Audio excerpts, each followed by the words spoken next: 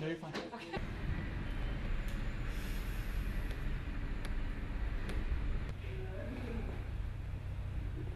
So Monitoring the Future is an annual study of adolescence. Its purpose is to track trends in adolescent drug use. We want to see which drugs are gaining in significance and which ones are falling. And the big finding this year was about vaping. We found a very big jump in vaping among adolescents. Among 10th and 12th graders, it was the largest jump we've ever seen in any substance that we've tracked for the past 43 years.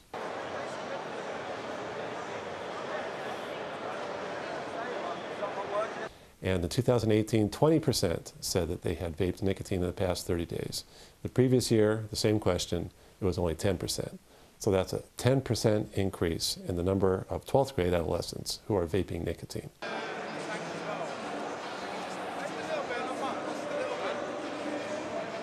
I wouldn't call them surprising so much. There have been a lot of reports in the media from schools where school principals report there's been a huge increase in vaping, particularly with a new device called a Juul, J U U L. And I've got lots of calls from reporters this past year actually asking about that. This is the one of the first studies, not the first, but one of the first studies to show that this increase really was quite substantial.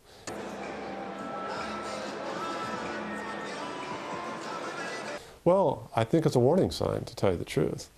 Um, I think right now we've found that it's profitable for some companies to addict children to nicotine, which I don't see any redeeming value to myself. And literally, there's billions of dollars to be made in this. And so it's important for us to have some policies and regulations to try to prevent this from happening in the future. CNN is a good thing, doesn't it? Still can't hear you. We saw a big increase in marijuana vaping this year. So that's typically been pretty uncommon until recently.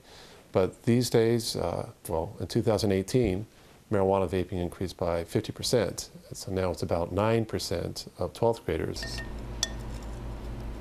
Come here. No matter what kids can vape, they are really taking to vaping it. These Juuls, a specific type of vaping device, are very easily concealable. They look like a flash drive, and you can put them in your pocket, and nobody can really stop you from carrying them into school. They're very hard to detect.